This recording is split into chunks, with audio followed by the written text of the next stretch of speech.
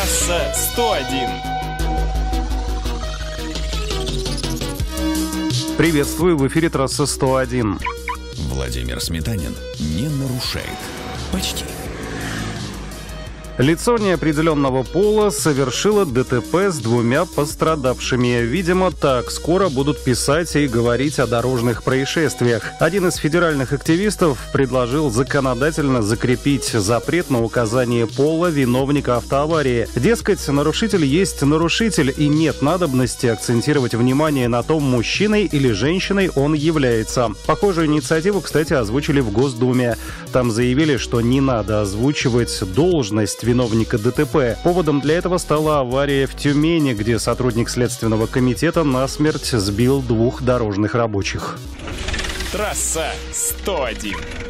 АвтоВАЗ собирается побить свой рекорд 2020 года, когда он повышал цены на автомобили 6 раз. Седьмое в этом году повышение запланировано на 1 декабря. Как ожидается, самая доступная модель тольяттинского предприятия «Лада Гранта» будет стоить минимум 566 тысяч рублей, пока 560. Десяточку накинут на Весту, тогда ее начальный ценник перешагнет за отметку в 800 тысяч. Столько же прибавит в цене X-Ray. Сейчас его его минимальный ценник на сайте завода 775 тысяч рублей.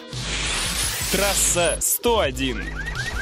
Лишили прав, срок истек, пошел в ГИБДД сдавать теоретический экзамен, но провалил его. Тогда гражданин не придумал ничего лучше, как купить водительское удостоверение через интернет. Товар обошелся ему в 10 тысяч рублей. Но дальше удача отвернулась от россиянина. Сотрудники ГИБДД при проверке документов усомнились в подлинности его прав. Все это произошло в Хакасии. Данный инцидент госавтоинспекция использовала для того, чтобы еще раз напомнить за незаконное получение водительского удостоверения грозит наказание вплоть до двух лет тюрьмы.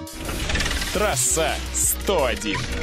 А Toyota поделилась изображениями нового поколения Land Cruiser Prado. Внедорожник должен дебютировать в середине следующего года. Судя по фото, младшего брата 300-го крузака, в частности, не обойдет стороной тенденции к уменьшению размера фар.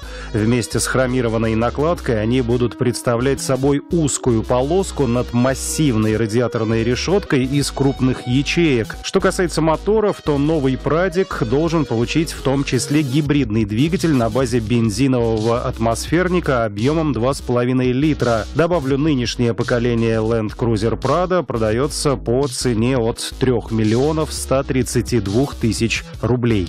На этом все. Вопросы и комментарии оставляйте на сайте Хакирова. До свидания. Трасса 101.